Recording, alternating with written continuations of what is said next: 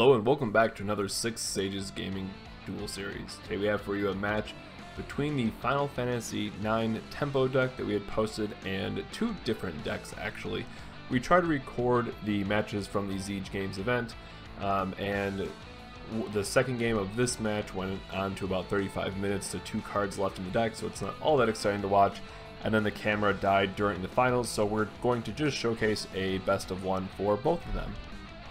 So starting off with the player on the right with Final Fantasy IX, starting off with two backups, which is always a great place to start with that deck. Um, just naturally for how much you draw into it. Uh, I never, never felt bad about starting with two backups on turn one. Then our opponent is just playing a Tama to start. So very quickly here, we're pushing to three backups, and from this point on, we really just need a water backup to seal the deal. Uh, but we can at this point just play some forwards, have the backups to support Selphie every turn, and just punch with a 9k or higher every single turn.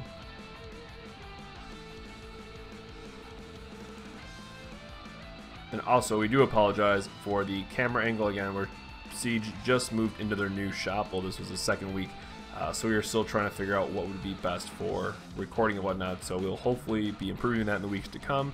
Um, and we're supposed to be adding streaming sooner or later, so hopefully that will be uh, next up. Paying 3, playing Elan and passing. Again, thankfully not burning any cards from our hand, so this is where we really just start to be very efficient with our backups and just goes to show how important playing those backups early can be and how far ahead they're going to get us in this match. Then our opponent plays a guy and passes. Lucky for us, we don't have to really worry about it. We can just get in a free point of damage here. Now, unfortunately for us, he hits the Leviathan EX Burst, so is going to go back to our hand. Uh, but we have all of these wonderful cards in our hand that we can just replay it and not really uh, feel that terrible for it. So we're just going to discard some cards to play out our hand again discarding Mog as part of the cost for land because we don't really have a lot of water. We're, uh, we're effectively a mono red deck, it certainly feels like right now. And then we're playing the Warrior of Light because if he chooses to block, it's going to kill his guy. Yeah, we've invested significantly less resources at this point, uh, so trading up would be a huge, huge favor for us.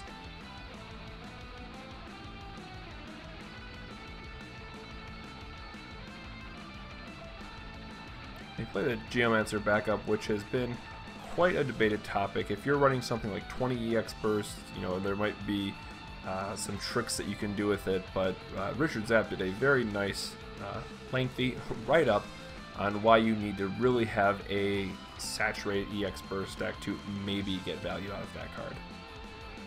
So our opponent chooses not to block, obviously don't want to lose, trade his guy for your light. Land, of course, still going uncontested here and we push our opponent to 3 damage.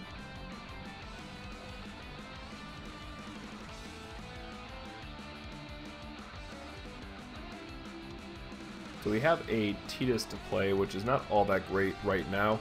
Um, seeing both of them early hurts quite a bit, uh, but also with the understanding that we're going to hopefully just win this game out from this point, so we're never going to win through Blitz Haze, but it would be nice to have a 9k body on the board that can potentially hit for 11k in case our opponent has uh, some kind of battle trick up his sleeve. Well, actually 12k with Summoner, to be technically correct.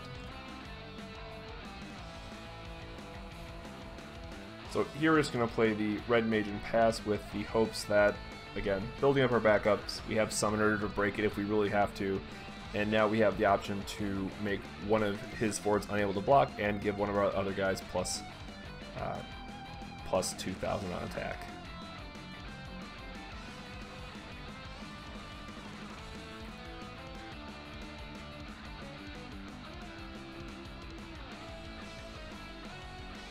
So he's going to pay 3, play the Minwu, uh, card that's not doing much for him currently, but can certainly be helpful. Again, our our deck capitalizes on just doing big sums of damage when we want to hit, so the reduction effect of Minwu isn't going to hurt us all that much. And then playing a Vincent just to get another body on the board.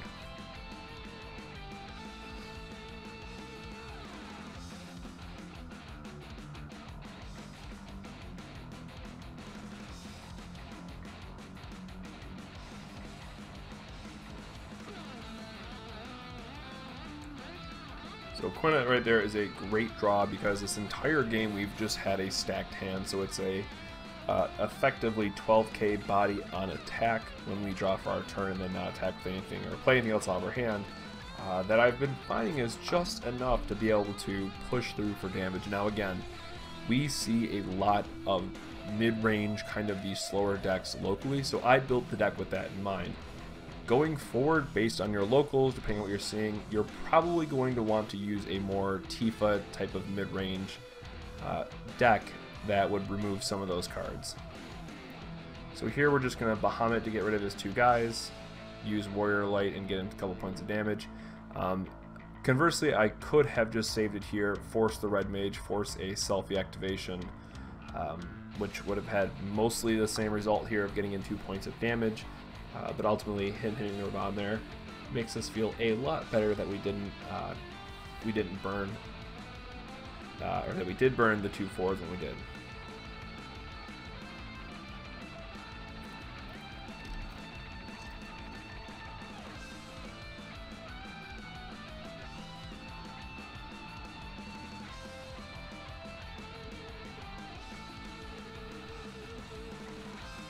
And here our opponent discards 2 plus 3 backups to play Shantoto and clear the board.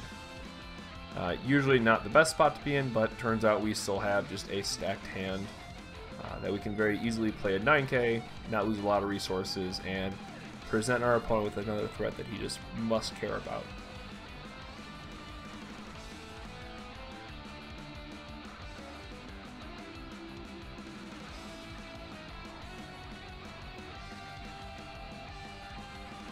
And again, uh, in a deck that wants to create card advantage and create uh, either fours that are difficult for your opponent to remove or uh, make them discard cards, draw extra cards, what have you, Rubicante fills a great role with his barrier shift. Um, and the fact again that he's a 9k by himself, so he's often attacking for just big enough anyways, can push him to 11 if absolutely needed. If they have, say, a Warrior, a Light, and Maria, which he was able to, to battle through, uh, barrier shift can absolutely be a key turn turning point in the matchup for you if they try to play like a 7 cost Odin or, or what have you to kill it. Here our opponent plays Ash, really not all that threatening because again we have Red Mage so the game is um, pretty much over at this point unless he finds a way to outrace us but um, unless he's able to uh, flood the field very quickly we should just win out thanks to Red Mage.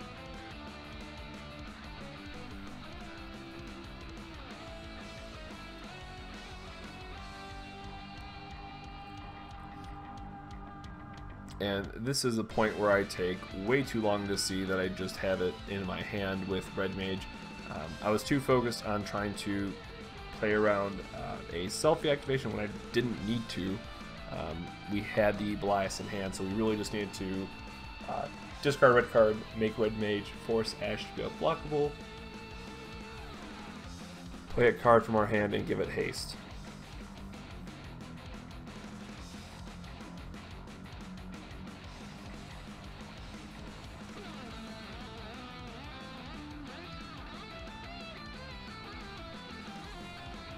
Some of the other lines that we were thinking was to just play the Steiner and, and continue to play the value game that way, knowing that in two turns we should have it anyways. Um, but eventually we do figure it out that, um, again, unless he hits like an EX burst, uh, we should just have the win here.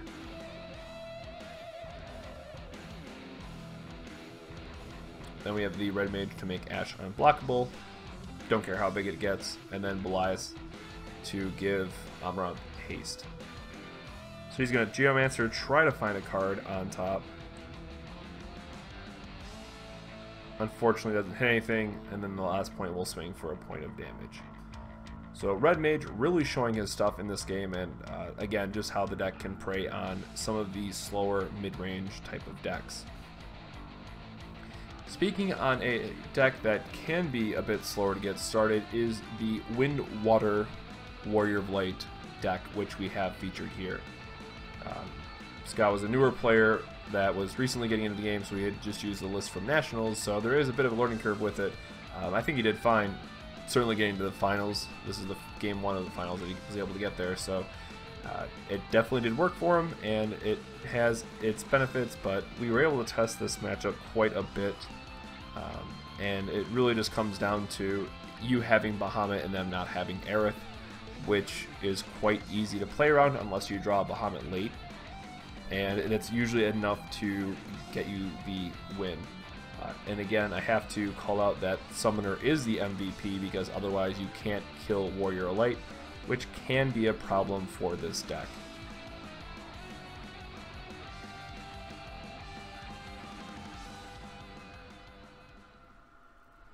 Now, Archer is a relevant card here as well because it can kill our Red Mage, which, again, in this matchup is our best backup. So here we're going to see a Paine come down just to find a Rikku.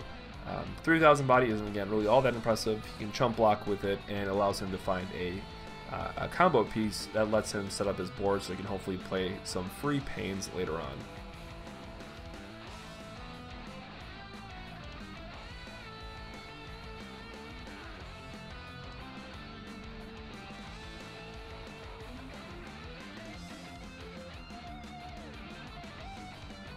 And while we haven't seen a lot of spoilers for Opus 3 yet, I would be very surprised if we don't uh, see the Yuna Rikku Paine combo popping up in even more decks. We did see recently a deck out of Japan that was uh, Wind Water with splashing the Final Fantasy IX package. So here we're playing Minwu just to get another backup on the field, particularly a water-based one um, and then Selphie just because it's obviously one of the best backups for the deck. So here we mentioned playing a Paine for, well, almost free if you would have had one more backup. Um, but just even being able to activate one backup sometimes can be a huge boost for you.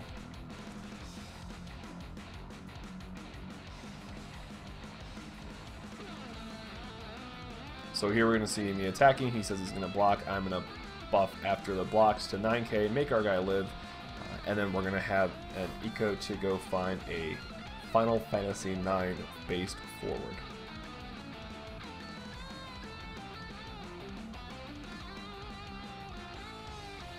And pretty much every time that you are hitting the tutor, you are either going to grab uh, Zidane or Steiner usually my favorite play to do, and why I only run to Eiko is to get a Steiner off the first one, use Steiner to find the second copy of the backup, discard it to pay for Zidane, uh, and then potentially make your opponent discard a card or just draw a card and essentially play Zidane for free because you generated another card off of it.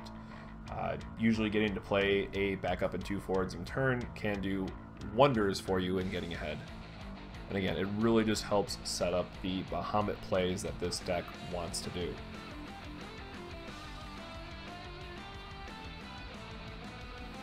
So our opponent has a Yuna, just slightly off camera, so he is online for Yuna and Rikku, but again, ultimately this is where he's starting to get farther and farther behind where it's not going to be able to help him that much. So here's where I mentioned we're going to play the Steiner. We're going to find the second copy of the card that we don't care about, which is just great that allows us to thin our deck uh, and you know make our drive draws that much more alive in following turns. Nothing feels worse than grabbing a backup off your draws and realizing that you can't actually play it. So to shortcut there, we discarded it for cost, and then we're going to play these Zidane and draw a card. Bit of a dead draw, but our opponent doesn't have a field. We have three attackers and a red mage ready to go on the following turn. So unless our opponent can generate two forwards on this turn, which the Wind Water Warrior Light deck certainly can pump out multiple uh, forwards in a turn just like this, uh, it's going to be a very short game.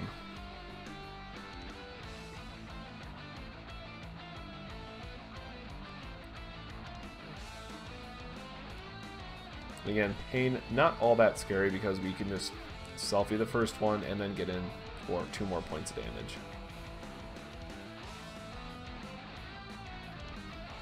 So here's where we mentioned that he has to play a couple of forwards, decides to play a Bartz, activate all his wind characters, just to get more blockers out there. Um, and, and not to be missed either that it is a 9k body, so it can be difficult for some of our cards to deal with it.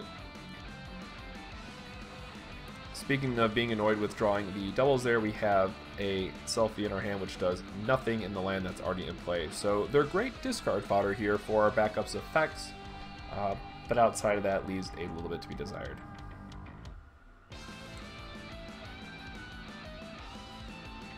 So here we're just going to force the uh, red mage so that if he wants to block, he has to do it in a, in a poor manner for him. Saying Bartz can't pluck, and then we're going to get in a series of attacks. Here we're going to use the uh, Belias. He lets us draw a card, and um, if we're going to spend a card to you know trade up or at least survive, might as well cycle off of it instead.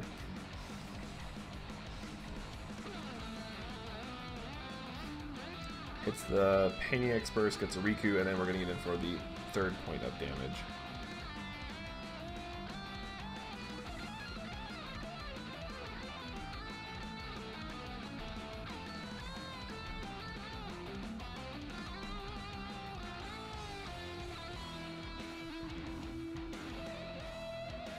And here we get to draw a card since we have the duo of it and now we're sitting in play with five backups. Card in our hand, and Red Mage and Selphie on the field, with even Mog. So we are in very, very good shape and very far ahead in this matchup. There's very few possible outs that he would have at this point.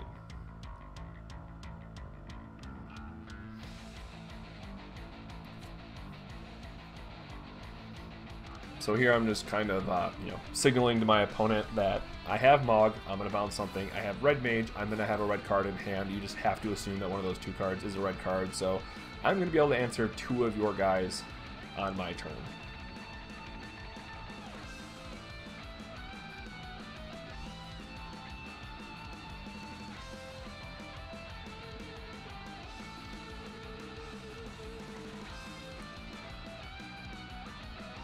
Again, that, that T unfortunately not doing too much for us here. Would be a 10k attacker, which is nice, but um, in a deck that's so far ahead as it is, um, it probably gets, would get cut. I When building the deck, I was between Wakka and Tidus uh, for them more or less wanting to do the same thing with being a very powerful 4-drop attacker, but um, looking back, I would change it to Wakka now just because he can buff himself if needed, but also status reels uh, would be a very very powerful effect for this deck.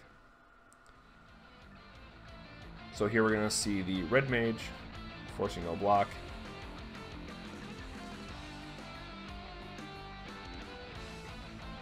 Here he's going to try to block with Wakka, we just Selphie instead, and then get in for another point of damage.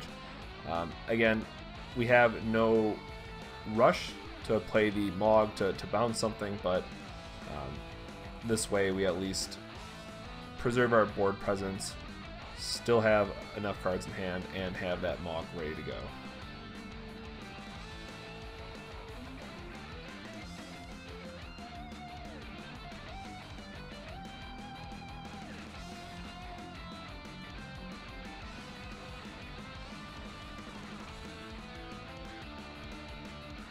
About the only thing that would be big here would be a Baleful on our turn during combat, um, but I'm not convinced that would even with him in the game, it would just kind of stall out the inevitable at this point because we do have five backups.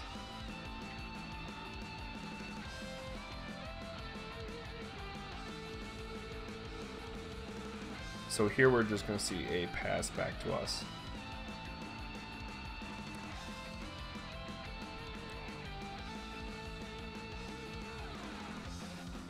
And here, what we basically have to do is make sure or play a bet around does he have a Balthier to use the special, which negates one of my effects, or we have another Aerith for Planet Protector, which would also cancel one of my effects, and both of them are certainly reasonable things to have. But ultimately here we're just going to be able to push through for some points of damage and be able to threaten again with the Red Mog, uh, Red Mage and Mog activations.